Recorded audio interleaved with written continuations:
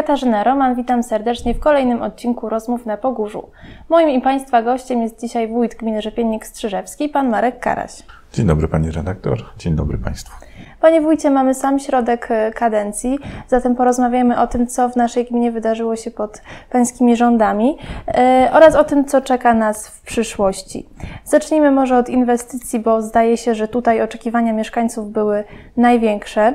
Yy, co przez ten czas udało się zrealizować, z czego jest Pan najbardziej dumny? No oczywiście tych, oprócz tych inwestycji związanych z kanalizacją i wodociągiem, Cały czas inwestujemy w poprawę bezpieczeństwa mieszkańców, w polepszenie ich komfortu życia. Tutaj przede wszystkim e, chodzi o inwestycje drogowe, także w chodniki. No taką jedną z trudniejszych inwestycji i która szczęśliwie się udała udało się zakończyć, jest budowa chodnika w Rzepienniku Biskupim obok szkoły. Chodnik bardzo potrzebny, wiadomo, e, odcinek e, drogi niebezpieczny, poruszają się po nim dzieci. E, o tyle to było trudne, że ta inwestycja jest prowadzona, czy była prowadzona w, razem z Zarządem Dróg Wojewódzkich w Krakowie, ale dzięki dobrej współpracy udało się ten chodnik wybudować i mieszkańcy i dzieci mogą się nim poruszać bezpiecznie do szkoły. Ile to kosztowało? Przeszło 300 tysięcy złotych, e, łącznie cały, cały e, projekt. Dofinansowanie ze strony gminy ponad 150 tysięcy. Mhm. Wspomniał Pan o e, kanalizacji właśnie i o to chciałam zapytać, bo nie, nie da się ukryć, że jednak to jest e, poważna inwestycja. Na jakim etapie są te prace? Obecnie skanalizowanych jest 20% e, gminy. Ostatnio byłem na takiej konferencji w Kielcach, gospodarka wodno-ściekowa na terenach niezurbanizowanych. Jeden z prelegentów przedstawiał, że już na terenach wiejskich mamy gdzieś 70% skanalizowanych gospodarstw. Także jesteśmy tutaj daleko w tyle. No niestety środki zewnętrzne się kończą e, na ten typ inwestycji. Musimy tutaj dołożyć wszelkich starań i to zarówno urzędnicy, jak i mieszkańcy, aby te inwestycje kanalizacyjne, wodociągowe projektować i budować. W tym momencie mm, projektujemy mm, dalszą część rzepiennika biskupiego oraz rzepiennik suchy. Także jest, są prace projektowe rozpoczęte w Olszynach i dzisiaj z tego, mm, co wiem, o godzinie 10 będzie otwarcie ofert na projektowanie turzy.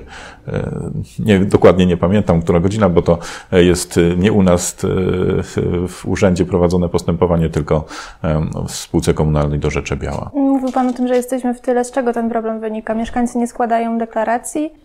Raczej ten program e, budowy kanalizacji po prostu za późno został zaczęty. E, tak, patrząc na inne miejscowości, inne gminy, no nawet w naszym sąsiedztwie, prawda, one zdecydowanie wcześniej zaczęły budować czy to swoje oczyszczalnie, czy, czy jakieś przydomowe oczyszczalnie. My zaczęliśmy troszeczkę za późno w mojej ocenie. E, no staramy się to nadrobić. Natomiast tak patrząc na gminy sąsiednie, rzeczywiście e, mają większy procent skanalizowanych miejscowości. Dobrą alternatywą ze względu na nasze ukształtowanie terenów wydają mi się być właśnie te przydomowe oczyszczalnie e, ścieków. Czy są gospodarstwa w naszej gminie, które się na nią zdecydowały? W tym momencie prowadzimy intensywne prace nad tym, aby e, przystąpić, pozyskać fundusze z programu rozwoju obszarów wiejskich właśnie na budowę przydomowych oczyszczalni ścieków. E, trwa, trwa nabór, mieszkańcy zgłaszają się do gminy. W tym momencie jest to przeszło 70 gospodarstw. Także jeszcze są wolne miejsca. Nie, tak jak też powiedziałem wcześniej, e, konkurencja jest dosyć duża. Ja nie mogę w tym momencie e, zapewnić, że wszyscy tą dostaną dofinansowanie, czy w ogóle nasza gmina dostanie, ale jeżeli nie dołożymy wszelkich starań, to na pewno nie dostaniemy. A jakie prawda? są kryteria tego? Tutaj jest dosyć złożony algorytm. To wszystko ma znaczenie dochód mieszkańca, liczba osób nie, bezrobotnych, czy jesteśmy w terenach chronionych przyrodniczo. Także ten algorytm jest bardzo złożony. My jesteśmy dosyć wysoko, ale nie tak na tyle, żeby zagwarantować tak, to pewne jest, dwa miliony mamy, możecie składać Państwo i są pewne pieniądze. Tutaj jeszcze chciałem powiedzieć jedną rzecz. E, ta perspektywa finansowania jest inna niż, e, która była w latach 2007-2013 pewne środki są w inny sposób dystrybuowane. I jeżeli mm, nie ma co już wspominać tego, co było, bo to się nie wróci, prawda? Jeżeli teraz nie sięgniemy po te dostępne e, źródła finansowania, to być może za 3-4 lata już nie będzie w ogóle, albo będzie tylko z Narodowego Funduszu Ochrony Środowiska, a tam jest umarzalna pożyczka. Na pewno nie jest to tak atrakcyjne e, jak e, z PROW-u. No dobrze, podsumowaliśmy to, co było, to teraz może kilka słów na temat tego, co będzie. Jakie inwestycje są planowane w najbliższym czasie?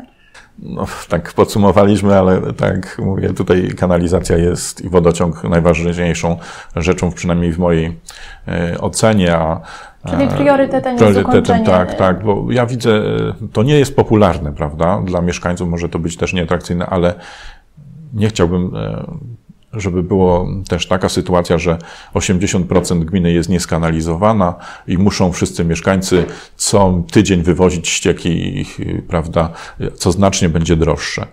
Więc to będzie priorytetem. Oczywiście cały czas y, bezpieczeństwo mieszkańców jest y, najważniejszym priorytetem, czyli dalsza, dalsze inwestycje w projektowanie chodników, dróg, y, to jest niewątpliwie priorytet. W tym momencie projektujemy dwa odcinki chodników chodnika przy drodze wojewódzkiej. E, to jest w Rzepienniku Suchym od kościoła praktycznie za cmentarz. Też bardzo potrzebna inwestycja, no bo wiadomo, jest to mm, przynajmniej okazjonalnie dosyć e, często mm, duża liczba osób się porusza i wtedy naprawdę jest duże niebezpieczeństwo dla tych mieszkańców. E, w Rzepienniku Strzyżewskim projektujemy ten brakujący odcinek pomiędzy szkołą a centrum e, wsi. Także, że też dłuższy odcinek, ponad 600 metrów. E, mam nadzieję, że tutaj znowu będzie ta dobra współpraca z zarządem województwa i przy współfinansowaniu uda nam się te dwie inwestycje wykonać. W naszej gminie zauważyliśmy ostatnio pewne zmiany kadrowe. Mam tutaj na myśli zmianę na stanowisku dyrektora bibliotek gminnych. Skąd ta zmiana? Co ona ma nowego wnieść? Tutaj nie tylko e, nowa jakość ma być w bibliotekach, ale też wynika to z e, prawnych e, przesłanek. Od wielu lat statut biblioteki nie był aktualizowany i on niedostosowany był do obowiązującego prawa. Czyli pani kierownik no nie, nie ma takiego stanowiska w, obowią, w obecnie obowiązującym prawie jak pan, pani kierownik, więc musiał być powołany dyrektor. Oczywiście liczę tutaj na to, że e, nastąpi mm, zmiana też jakościowa, ponieważ e, okoliczne biblioteki też się będę tutaj przykładami e, posługiwał, tak jak Tuchów, prawda, niewielka e, biblioteka w Jodłówce Tuchowskiej zdobywa nagrody. Ja bym chciał też, żeby, e, żeby nasze biblioteki zdobywały środki z zewnątrz, e, żeby organizowały spotkania z autorami, żeby wspierały także miejscowych twórców czy miejscowych pisarzy, którzy są i którzy tworzą, opisują naszą mm, tutaj gminę, a do tej pory nie widziałem tego wsparcia, e, czy nawet takich spotkań w bibliotekach. Chciałbym, żeby były otwarte jakieś kluby dyskusyjne. E, no jest dużo rzeczy do e, zrobienia. W Bieczu pozyskano ponad milion złotych na rozbudowę biblioteki gminnej. No ja bym chciał, żebyśmy też po prostu te biblioteki E, ożywili, bo na pewno Pani zdaje sobie sprawę, że dzisiaj biblioteka troszeczkę inne e, jakby powinna e, mieć zadania niż 20 lat temu. To nie tylko wypożyczanie książek. To jest taki gminne centrum kultury dodatkowe. Może na, bardzo bym chciał, żeby e, dobra współpraca właśnie była też z Gminnym Ośrodkiem Kultury. E, to musi się wszystko ze sobą e, splatać i ta współpraca na pewno być bardziej intensywna. Czyli główne oczekiwania względem nowego dyrektora to kreatywność i współpraca z, z mieszkańcami, tak? Tak. Oczywiście bardzo liczę też na pozyskanie środków zewnętrznych tego e, będę wymagał, e, ale także organizowania spotkań. No i to się już dzieje, bo pan Augustyn e, był w szkołach, opowiadał bardzo ciekawie o mm, swoich młodościach, o młodości, o, o no, swoich przeżyciach także, o tych książkach, które napisał no naprawdę dosyć ciekawa literatura. Wśród ludzi mówi się też po cichu o zmianie na stanowisku sekretarza gminy. Ile w tym prawdy? No zero. No nie zamierzam zmieniać sekretarza. Mm, tutaj no, na pewno Pani też wie, że wprowadziłem nowe stanowisko zastępcy. E, jest to też spowodowane tym, mm, że no, ogrom pracy, który jest, jest po prostu niewyobrażalny. Ja często e, no, siedzę tutaj w urzędzie po kilkanaście godzin i nie jestem w stanie dokumentów wszystkich e, w odpowiednim czasie przygotować. Czyli teraz oprócz, z zastępcą dzielicie się obowiązkami? Oczywiście, oprócz tego są spotkania z mieszkańcami, e, którzy też przychodzą, no i trudno by było mi powiedzieć, proszę poczekać dwie godziny, bo mam do podpisania kilka dokumentów, prawda, przy przygotowaniu takiej, chociaż i tak może się zdarzyć, bo, bo czasami po prostu no, jest, są wyższe konieczności. Dziś dzisiaj jadę podpisać umowę z panią skarbnik, też mnie nie będzie. Jeżeli ktoś przychodzi do urzędu, to powinien załatwić tą sprawę w miarę możliwości szybko. Nie to, że będzie czekał na wójta e, czy na kogoś, e, kto go obsłuży. Więc to jest dla mnie priorytet, aby mieszkańcy byli obsługiwani sprawni, sprawnie e, i w miarę możliwości szybko. Więc tutaj podział tych obowiązków jest niezbędny. Czyli ze swoimi sprawami mieszkańcy mogą się zgłaszać też do pana Przemysława Będna. Tak, no i zgłaszają się, bo mm, liczba spraw, jeśli chodzi o własności, na przykład działek, y, działek, które są drogami, no chyba od, żadna gmina w województwie małopolskim e, nie wykonała tyle pracy, co w gminie Rzepiennik Strzyżewski. Hmm. E, a propos zmian, e, no wiemy wszyscy, że prawdopodobnie czeka nas, nas też zmiana w szkolnictwie. Mam na myśli powrót do ośmioklasowych podstawówek. Jak Pan tą zmianę widzi w naszej gminie? W Rzepienniku Strzyżewskim na przykład powstała piękna nowa szkoła, a mówi się, że będzie tam problem, żeby pomieścić 8 klas. Czy tak, w tym momencie mamy problem taki, że naprawdę dzieci w, w szkole jest mało. I ja tutaj bardzo bym chciał, żeby się te dzieci nie pomieściły, bo wtedy by Czyli znaczyło, że, to, że, pomieszczą, że, że gmina się rozwija, jest tutaj więcej rodzin. Bardzo bym był z tego powodu szczęśliwy. Natomiast e, jeśli chodzi o cały system e, czy, czy reformę. Ja nie wiem dokładnie, jak ona będzie wyglądać, więc e, jakby tutaj nie wybiegam e, aż tak daleko w przyszłość, bo za dużo jest niewiadomych, które są niezależne od gminy. Więc y, oczywiście przygotowujemy się na ten, y, na różne scenariusze, ale żeby powiedzieć, jak to będzie dokładnie wyglądało, jest stanowczo za wcześnie. Y, teraz nawet sam mm, posłowie zaczynają mówić, że może to za wcześnie jest ta reforma wprowadzana. Poczekajmy jeszcze chwilę. Ja myślę, że z konkretnymi odpowiedziami na te pytania musimy poczekać, żeby poznać po prostu fakty i stanąć na twardym gruncie, a w tym momencie to jest wszystko wróżenie z fusów. E, ostatnio w gazecie ukazała się informacja na temat e, utworzenia Młodzieżowej Rady Gminy. Ta rada powstanie? Kto o tym zadecyduje? Znaczy tak, e, o powstaniu Młodzieżowej Rady Gminy będzie decydować obecna Rada Gminy i myślę, że ona powstanie. Tutaj ostatnio na mm, komisjach i na sesji była dyskusja na temat powstania właśnie tej Młodzieżowej Rady Gminy. Eee, Dlaczego w ogóle uważa się, że ona jest potrzebna? Co będzie mogła ta Młodzieżowa Rada Gminy zrobić? Znaczy w mojej ocenie najważniejsze jest to, że młode, młode osoby będą miały możliwość jakby angażowania się, przedstawiania swoich pomysłów. My dorośli czasami po prostu nie zdajemy sobie sprawy, jakie są potrzeby e, młodych, ale już całkiem rozsądnie myślących osób, więc e, tutaj na pewno e, bardzo ważne by było właśnie to opiniodawcza, czy, czy otwierająca nam dorosłym oczy na ich, na potrzeby młodzieży czy dzieci, prawda? Więc tutaj najważniejszą rolą takiej młodzieżowej, przynajmniej w mojej ocenie, rady będzie będzie to część opiniodawcza i doradcza. A kto do takiej młodzieżowej rady będzie mógł należeć? Uczniowie szkół. To zależy od samych uczniów, czy, czy ze szkoły podstawowej będą chcieli przystąpić.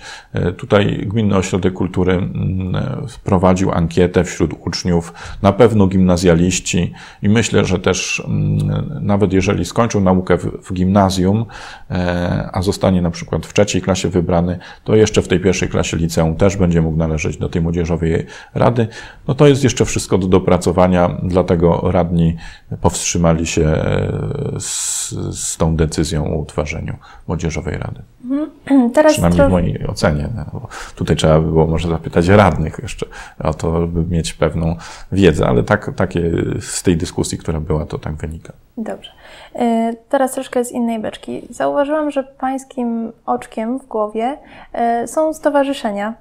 E, zachęca Pan różne grupy do mm, integrowania się, do właśnie zakładania tych stowarzyszeń. Skąd to się wzięło? Znaczy, moim oczkiem w głowie są mieszkańcy i to, aby angażowali się w życie, bo to my tworzymy tą gminę, mieszkańcy tworzą gminę. Nie wójt, sekretarz, zastępca, skarbnik i pracownicy, tylko mieszkańcy tworzą gminę. I takim bardzo dobrym przejawem aktywności właśnie są stowarzyszenia. Zbierają się osoby, y, mają swój, swoje, wyznaczają swoje cele i próbują je realizować. I ja na pewno będę wspierał te stowarzyszenia, wszelkie inicjatywy e, społeczne e, staram się wspierać, ponieważ tak jak mówię, dla mnie gmina to są mieszkańcy. A bardzo dobrym przejawem aktywności mieszkańców są różne stowarzyszenia. Swoje pytania do nas nadesłali również mieszkańcy e, i najczęściej powtarzającym się pytaniem jest pytanie dotyczące remontu dróg. E, gdzie w najbliższym czasie zaplanowane są te remonty? Znaczy tak, e, wykonaliśmy tych remontów dosyć dużo, ale to były związane jeszcze z usuwaniem klęsk żywiołowych, które, które były w 2010 i w 2014 roku. W tym roku też będziemy składać wnioski o to, aby uznano e, te nawalne deszcze, które były w jesieni e, i spróbować pozyskać pieniądze na odbudowę tych dróg. To oczywiście weryfikuje komisja od wojewody, więc nie mogę teraz powiedzieć, które drogi, czy w ogóle zostaną zakwalifikowane, ale staramy się. Jeśli chodzi natomiast e, o remonty z innych programów, to z programu rozwoju obszarów wiejskich będą wykonane trzy drogi. Udało nam się pozyskać właśnie e, pieniądze na to. Dzisiaj jadę podpisać umowę. Które to drogi? E, to jest, jedna jest w Rzepienniku Strzyżewskim obok szkoły. Druga jest tutaj na granicy Rzepiennika Strzyżewskiego i Biskupiego e, za urzędem e, do góry, łącząca się z drogą e, powiatową. I trzecia droga w Rzepienniku Suchym. Kolejne pytanie jest to pytanie, które też pojawia się bardzo często i mianowicie młodzież z Rzepiennika Strzyżewskiego pyta, kiedy i czy w ogóle doczeka się pełnowymiarowego boiska ze sztuczną nawierzchnią? Tutaj y, są planowane y, y, remont obecnego boiska typu nowe bramki, piłkochwyty, natomiast nawierzchnia ze sztuczną nawierzchnią w Rzepienniku Strzyżewskim przy szkole nie jest planowana. Owszem, ostatnio na zebraniu wiejskim czy pani dyrektor e, mi o tym mówiła, że można by było zastanowić się nad, e, nad wydzieleniem z tego boiska e, części boiska, ale no tutaj jeszcze nie mamy konkretnych planów w stosunku do tego. Natomiast najprędzej powstanie boisko ze sztuczną nawierzchnią w Turzy, bo tam są potrzeby największe. Boisko, które, które obecnie jest, nie spełnia wszystkich wymogów, więc skupimy się na tym, aby powstało tam właśnie to boisko. Mhm. E, I ważne pytanie według e, nas zadał jeden z czytelników, który zapytał o przyszłoroczne nabory wniosków do dofinansowania innymi wymiany pieców, termomodernizacji czy inwestycji energooszczędnych. Czy w naszej gminie będzie można składać takie wnioski i kiedy można spodziewać się szczegółowych informacji na ten temat?